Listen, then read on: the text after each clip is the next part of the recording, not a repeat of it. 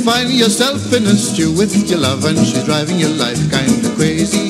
I say, my friend, the best thing to do, take a trip where the climate is lovely and lazy. You better take a trip to the Virgin Islands and rid yourself of your worry. While you're relaxing on the sand, life will be so grand, you'll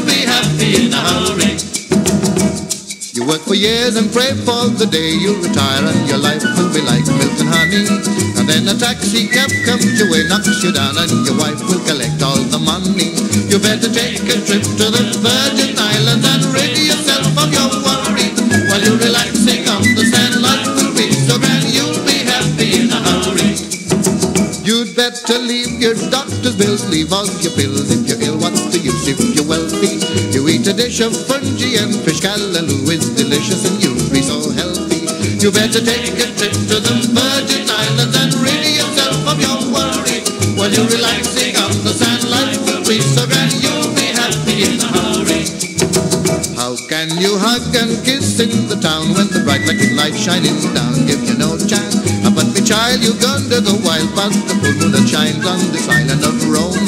You better take a trip to the Virgin Islands and rid yourself of your worry. While you're relaxing on the will be so you'll be happy in a hurry.